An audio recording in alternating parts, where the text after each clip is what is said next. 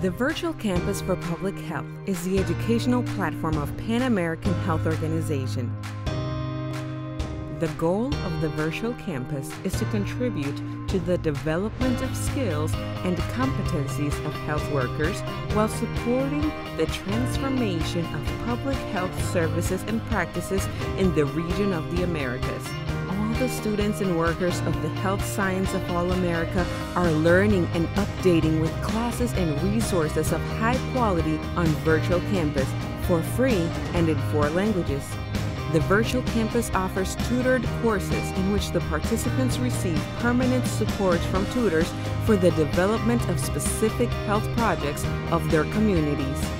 Coordinators and tutors are experts in the course topics and come from various institutions in the region of the Americas. In addition, it offers multiple self learning courses with free access in which the participants can adjust their time and dedication. The contents are updated regularly. Those who complete the courses receive a PAHO certificate.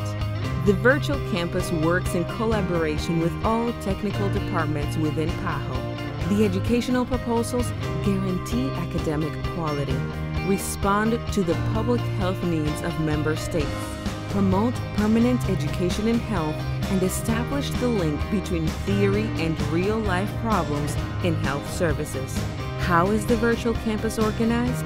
The virtual campus functions as a network bringing together the regional node, sub-regional nodes of the Caribbean, Central America, and South America, and with the country nodes. Join us and be a part of this network of students and health workers. Register in the virtual campus. Begin to learn and bring your knowledge to practice.